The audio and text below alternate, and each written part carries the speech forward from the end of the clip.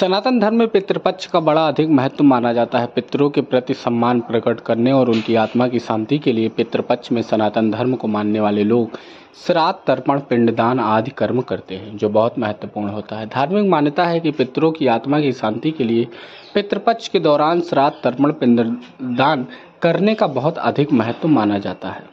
पितृपक्ष के पंद्रह दिनों के दौरान पितृ धरती पर आते हैं। लिहाजा उनका सम्मान करना उनके लिए श्राद्ध अनुष्ठान आदि करने से वह जल्द ही प्रसन्न होते हैं।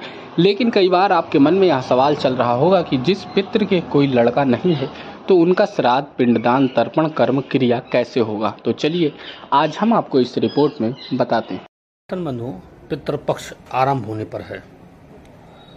वर्ष में पंद्रह दिन सबसे महत्वपूर्ण ये पितृपक्ष हमारे जीवन में बहुत ही भूमिका निभाता है। इन पंद्रह दिनों में हम अपने पितरों को, उन परिजनों को, जो हमारे बीच से ही हमसे दूर हो चुके हैं, हम उनकी आत्मा की शांति, सदगति के लिए नाना प्रकार के उपाय करते हैं। पितृपक्ष में तमाम ऐसी चीज़ें हैं जिनकी जानकारी होना आवश्यक है, क्योंकि थोड़ी सी चूक से हमारा सब कुछ किया कराया नष्ट हो जाता है, और हम इस भ्रम में रहते हैं कि हमने पितरों के लिए किया, लेकिन वह जो हमने किया है वह पितरों तक पहुँचता ही नहीं है।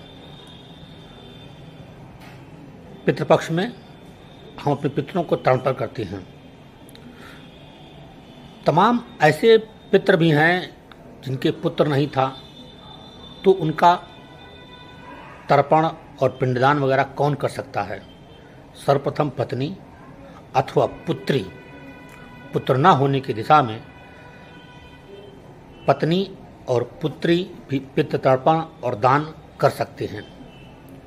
नाती को भी इसमें शामिल किया गया है।